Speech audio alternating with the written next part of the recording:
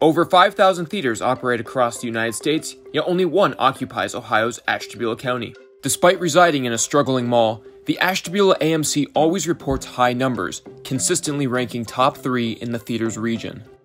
Um, I believe the Ashtabula AMC is successful because in the Ashtabula region, we are the only theater in the county, and the Ashtabula County is quite large, and we're serving a very huge sample size of guests. People have a good time coming here, so they think of it as like more family owned than corporate owned. The people that come to our theater are mostly families. Uh, it's a very family oriented theater. We like to keep a lot of uh, kids' movies out so people can come enjoy them.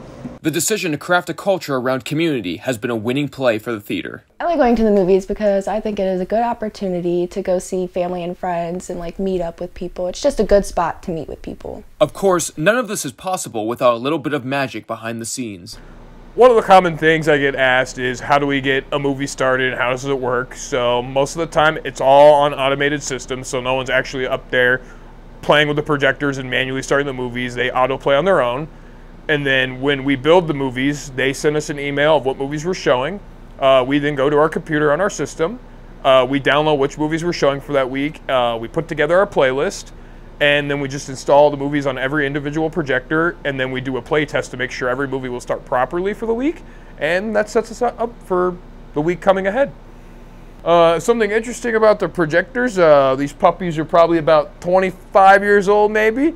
Um, they still uh, they still run really well, give a good clear picture.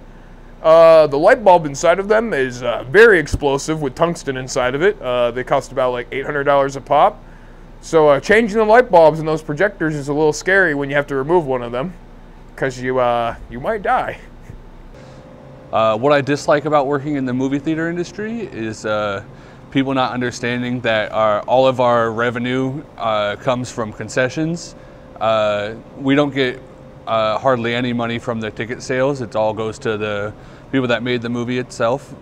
Even with complaints about prices, people keep coming back. It's not dying, I could say that. The movie theater industry is alive and well. Streaming is definitely not going to kill it. Uh, movies aren't going anywhere. They're always going to be here to stay. And movie theaters will exist until uh, the end of my time. So what do you say? Isn't it time for a trip to your local movie theater?